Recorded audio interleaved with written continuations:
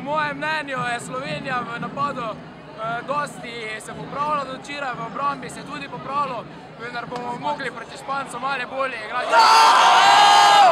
Je kar vrejo glede na včerajšnjo tekmo, ne? sam bi lahko bilo boljše. Nimamo šutov, davč, imamo slab procent, sam se bo popravil, se zdaj v drugem polcajtu, tako da verjamem našim fantom, da ne zmagamo. Zmaga, težka bo, sam verjamem v naše junake.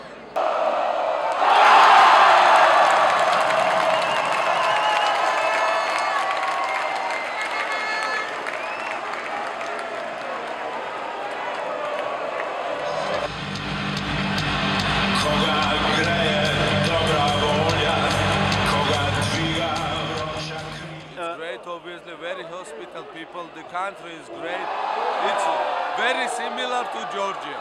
We have also wine culture, hospitality, the food. Food in Slovenia is great. We're staying in Hotel Pharaon, which is a little bit far from the center, but, but it, it's all good. It's all good.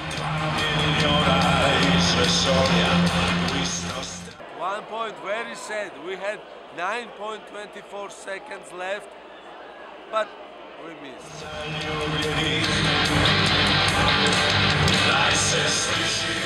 Finals will be definitely, uh, well, looks like it's gonna be Spain, number one, uh, Slovenia, number two, and Georgia, number three.